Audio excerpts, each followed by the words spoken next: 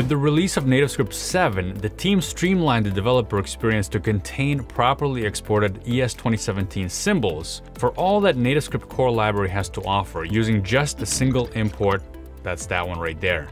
They also wanted to address the extraneous number of generically named symbols throughout the core modules to help avoid import aliasing as much as possible, which also helps to isolate conflicting namespaces. There will be more improvements over time, but today I'm just gonna show you where we were before NativeScript 7 and where we are now.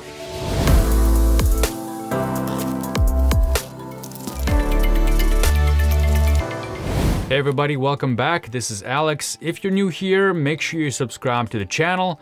We do NativeScript tips, tricks, and tutorials here. And if you want to learn more about NativeScript, check out the links below for free courses as well as coupon codes for more advanced NativeScript courses available on Native Scripting. If you are using JavaScript, plain JavaScript, stay to the end of the video and I'm gonna show you how to import things in that way. It's also pretty simple. All right, so I've just set up a new project here and it's not new. It's actually old, but uh, I've had to simulate how we used to do imports in NativeScript back in the day.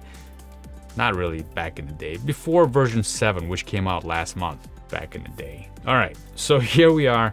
This is the import stack. Look at this. We got imports coming from TNS core modules and then submodules after that. So utils, utils, application, UI, page, these are all coming from different places and you couldn't import just from one spot. So you had to have all these different imports depending on what you're importing. And you had to remember all these. So where are they coming from? Okay, that's a pain, right?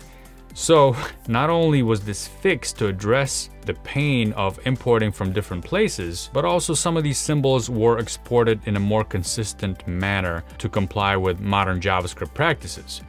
So here is uh, an example. We are importing app and we're importing star as app from the entire application module, which we can later use. For example, here we're grabbing the root view from the app and doing things with the root view. Fine. Uh, then we have a page reference. So this is page class. And when we navigate to the page right over here, we're getting that object as our parameter passed in and we're casting page so then later we can use page methods in TypeScript like this. For example, here we're using getViewById and so on. Stack layout, same thing.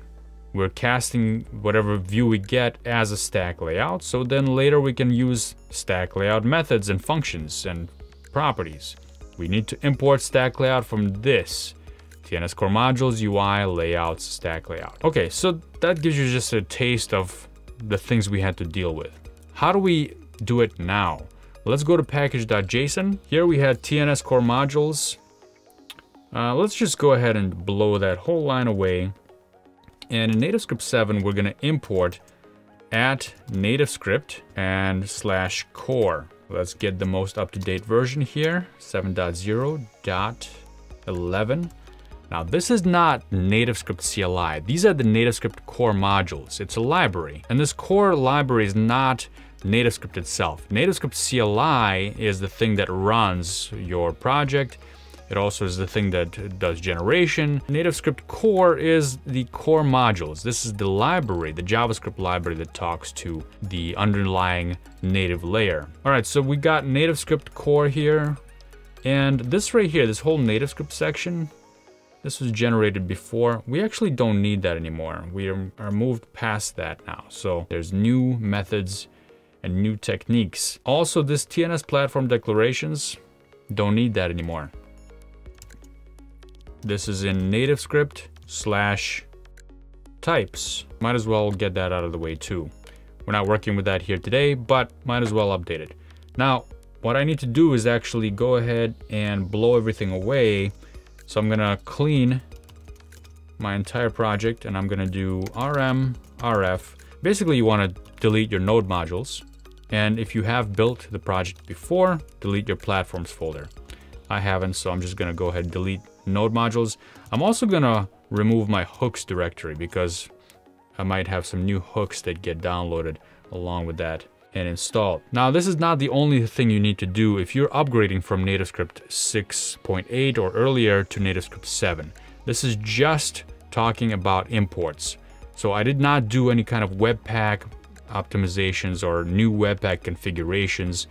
That's to be left for a different video. Leave me a comment down below, by the way, if you want to see that. Now that I've done that, I'm to do npm install, and this will download the latest, the add native script slash core and the add native script slash types, and update that, giving me new node modules and access to all the new goodies. Now that we have that, let's go back to main page where we have our imports. Everything is breaking now, so I'm gonna leave that up, but I'm gonna comment everything out. Now, what do we need? We need event data, Let's see if Visual Studio Code can help us out here. And yes, it can. I'm gonna just click on that. Look at that. It's clean. We're importing event data from at nativescript slash core. Okay, great. What about page?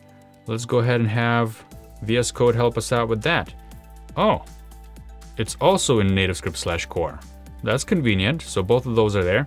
What about stack layout? Add stack layout. Hey, look at that. That's also in NativeScript slash core. So all three of those are NativeScript slash core, and before they were spread out all over the place. What else do we have here? Well, we have app, and Visual Studio Code is not gonna help us there because app is not really a symbol. Let's keep going. We have view, that one can be added as well. So now we have these four coming from NativeScript core.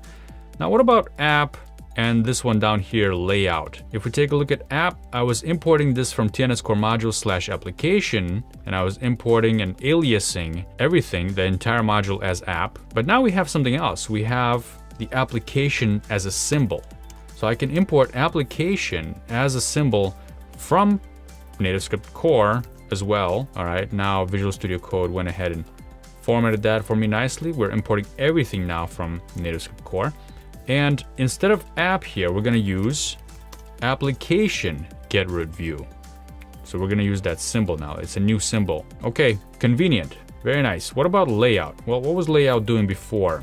Import layout from TNS Core modules, utils, utils. It's a utility that allowed us to get the display density among other things. It does a bunch of things, but that's what we need to do is get display density. So let's go back up here and import layout. Well, no such thing. So what do we do? Well, look at that. What we're trying to get is actually utils. And utils happens to be exposed as a utils symbol. So now all utils are coming from native script core and you can use that here. So we can go to utils.layout.get display density. Okay, We've converted all this and we have only one line of import right here and everything is coming from a flattened NativeScript core structure. How clean and simple is that? Much nicer, right? Okay, so if you are using JavaScript, this is how you go about doing your imports. You still take advantage of importing everything from at nativescript slash core. You're gonna use require though and you're gonna use an import like this. So it'll be utils, dot layout, get display density. If you need to import application, you would import application like that. And anything else you might want here as well. You don't really need to import page unless you're doing static classes on page, but utility classes and other symbols that are new, you can import from core directly and have them all on the same import line. And this is using the destructuring syntax. It's not really import, you're just creating a const here, and these are const. You're using destructuring that's coming from this module right here. That's gonna be it for me today. Thanks for watching. Happy upgrading to NativeScript 7, and I'll see you all in the next video. Oh, make sure you subscribe to the channel. Click that subscribe button. See you later.